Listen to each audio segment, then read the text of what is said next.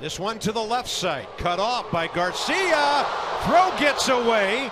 Racing home is Difo. And over to third base, Yunel Escobar. The Braves had a chance to end the inning right there. Well, Although were, it's doubtful they would have doubled up Turner, but at least would have gotten an out. yeah, they weren't going to end the inning on that chopper, but they'll definitely take the free run.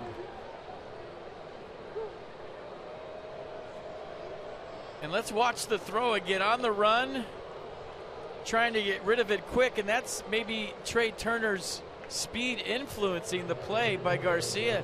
Instead of just saying, hey, I got an out right here, I'll take that, he rushed his throw, threw it into right field.